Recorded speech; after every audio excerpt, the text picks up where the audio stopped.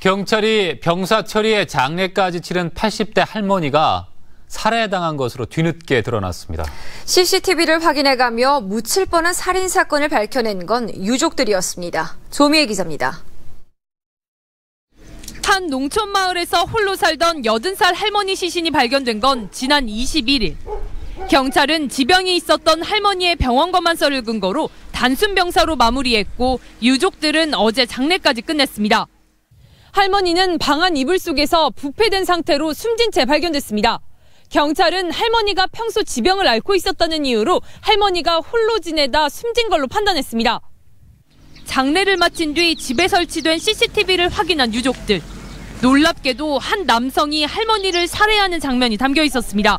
일컵일컵 이렇게 안았는데 모습에도 안았는데 팔이 벌써 툭툭 떨어져서 흔들흔들 하더라고 방에 안고 들어가는 게 그게 유족의 제보로 뒤늦게 CCTV를 확인한 경찰은 이웃 마을에 사는 50대 청각장애인을 붙잡았습니다.